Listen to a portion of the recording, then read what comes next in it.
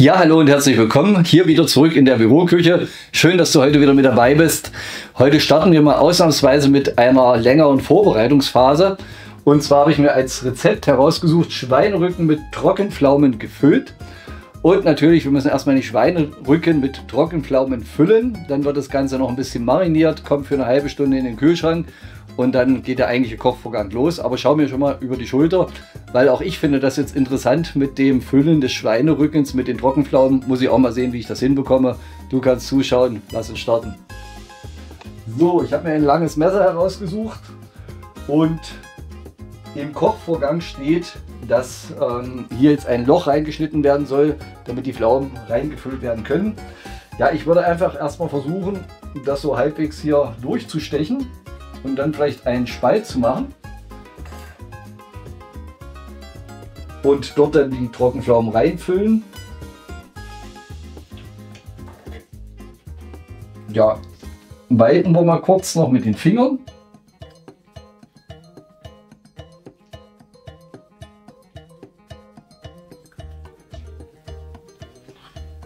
Das sieht eigentlich schon ganz gut aus und ja, dann füllen wir die mal rein.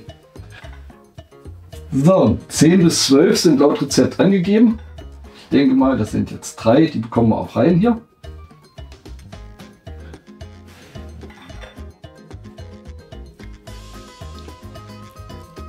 Also ich halte es jetzt mal in die Kamera. Die 10 bis 12 Pflaumen haben hier gut reingepasst.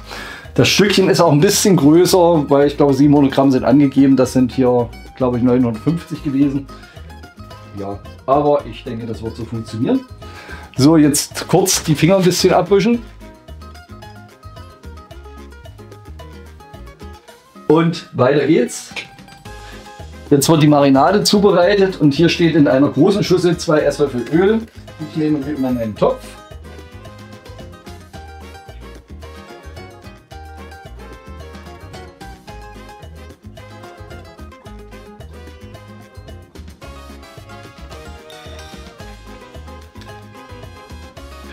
Und weiterhin kommt dazu eineinhalb Teelöffel Paprikapulver, edelsüß.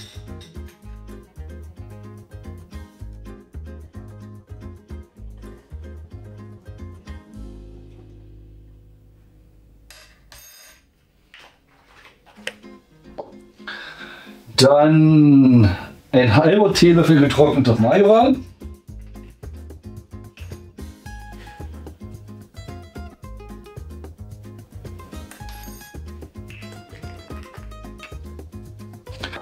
Dann ein halber Teelöffel Knoblauchpulver.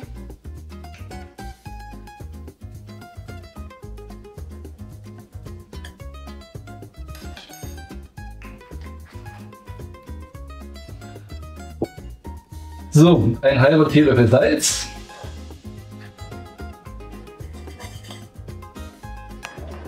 Und ein Viertel Teelöffel Pfeffer.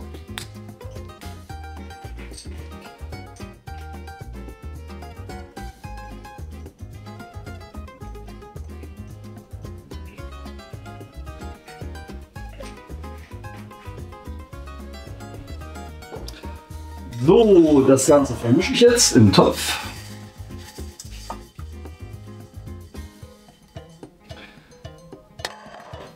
Lege mein Fleisch hinzu oder vielmehr werde es erstmal kurz einpinseln.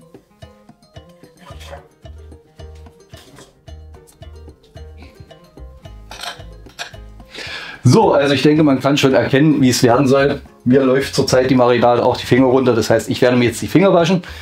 Dann kommt das Fleisch für eine halbe Stunde in den Kühlschrank und danach sehen wir uns wieder. Bis dahin.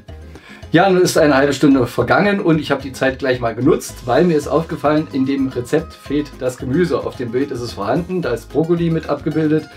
Aber ja, es war leider Gottes nicht mit in der Liste und somit konnte ich es auch nicht mit auf die Einkaufsliste nehmen. Ich habe mir einfach so beholfen, ich habe jetzt mal im Kühlschrank geguckt, was liegt da noch da, was liegt da noch da. Da war so ein bisschen Brokkoli-Strunk war noch da gewesen, wo die Röschen schon mal abgeschnitten wurden.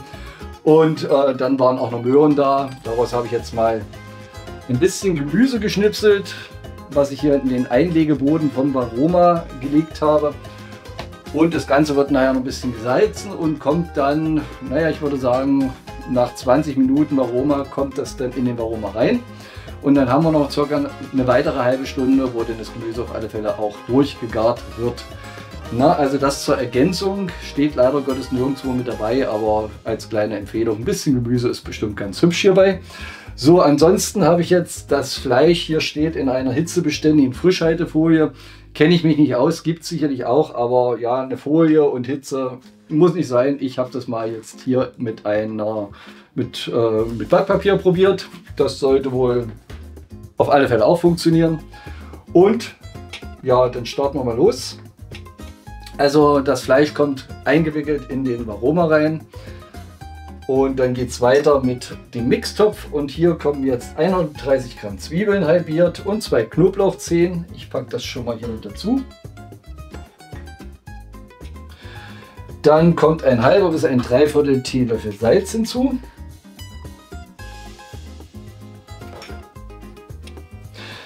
Dann ein Viertel Teelöffel Pfeffer.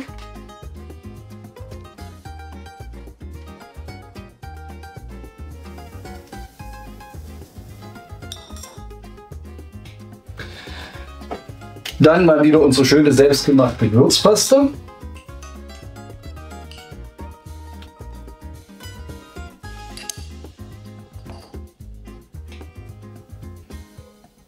Fünfzig Gramm getrocknete Pflaumen.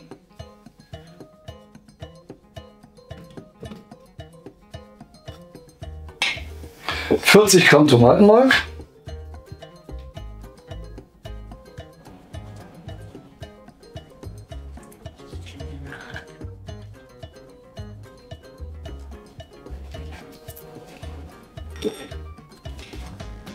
Und jetzt wird der Deckel aufgesetzt. Und mit dem Messbecher verschlossen. Und alles wird mal für 5 Sekunden zerkleinert.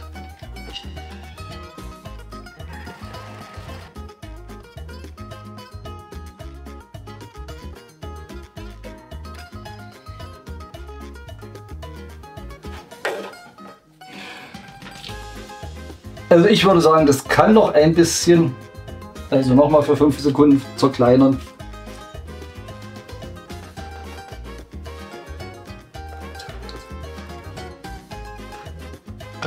Und ich werde jetzt auch die Geschwindigkeit noch etwas erhöhen, denn zerkleinern mit dem Thermomix macht ja wirklich Spaß und das kann er auch richtig gut. Das heißt also nochmal 5 Sekunden und hier gehe ich mal noch zu.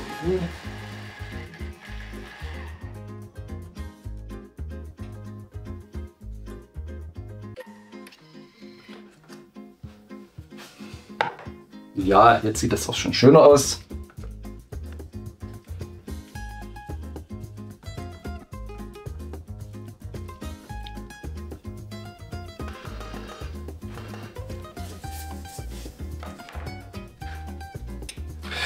So, jetzt kommen noch 750 Milliliter Wasser hinzu.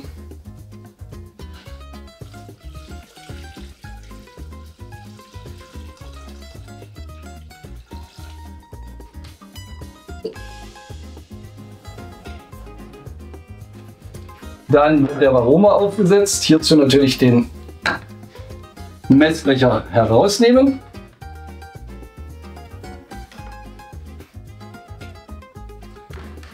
Den Aroma verschließen wir noch. Und jetzt wird erstmal für 25 Minuten das Fleisch dampfgegart. Dann kommen noch ein paar Sachen dazu, denn kommen unter anderem noch die Kartoffeln nachher hinzu und dann wird nochmal für 25 Minuten gegart. Ich würde das Gemüse ungefähr so 30 Minuten garen lassen. Das heißt also ungefähr 5 Minuten, bevor wir die Kartoffeln einsetzen, setze ich mal noch den Einlegeboden mit dem Gemüse ein.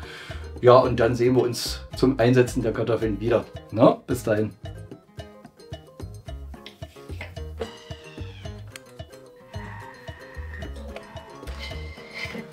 So, jetzt sind die ersten 25 Minuten vorbei des Garvorgangs oder des Dämpfvorgangs.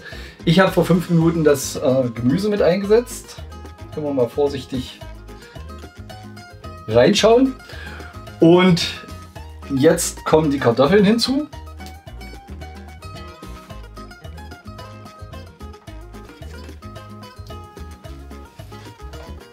Diese werden jetzt in den Mixtopf eingesetzt und dann wird wieder verschlossen.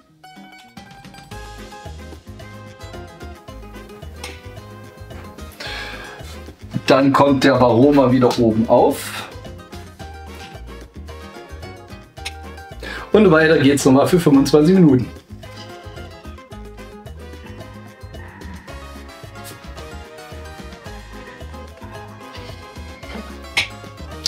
Ja, jetzt ist der Dampf Dämpfvorgang beendet. Ich stelle den Aroma zur Seite und nehme den Gareinsatz mit Hilfe des Spatels heraus.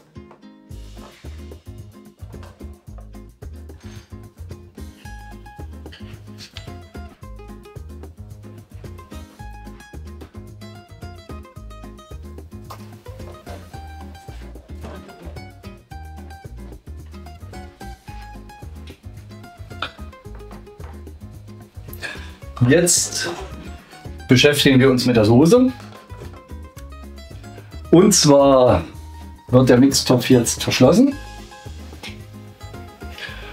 und für 25 Sekunden bei Stufe 5 genau gemixt.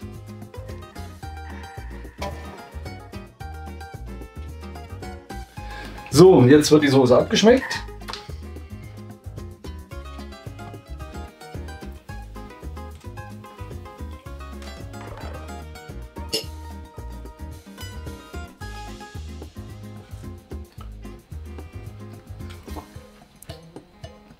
Perfekt.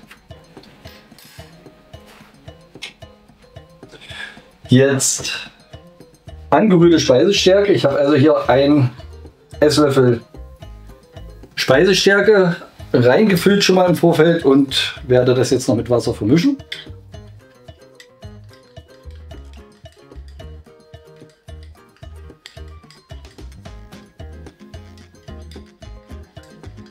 Und gebe dies jetzt zum Mixtopf hinzu.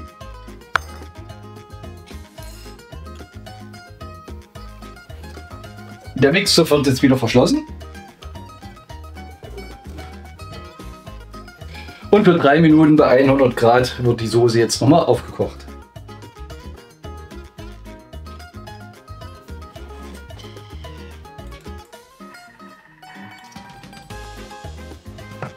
Ja, die Soße ist jetzt fertig und damit ist auch unser heutiges Essen fertig und bereit gegessen zu werden. Schön, dass du wieder mit dabei warst und wie immer der Hinweis, wenn du die nächste Woche mit mir mitkochen möchtest, hast du die Gelegenheit, dich in unseren Einfachkochclub einzutragen. Geh hierzu jetzt auf mixkoch.de, hinterlasse deine E-Mail-Adresse und wir senden dir dann automatisch zum Ende der Woche immer eine Einkaufsliste für alle Zutaten, die du die nächste Woche brauchst, wenn du mit uns hier mitkochen möchtest. Das heißt von Montag bis Freitag, genau. Ja, somit musst du nur einmal einkaufen gehen, hast immer abwechslungsreiches Essen und ja, lernst sicherlich auch eine ganze Menge noch dazu. Kleine Bitte noch an dich, wenn dir das Video gefallen hat, dann hinterlass doch bitte einen Daumen nach oben und abonniere den Kanal.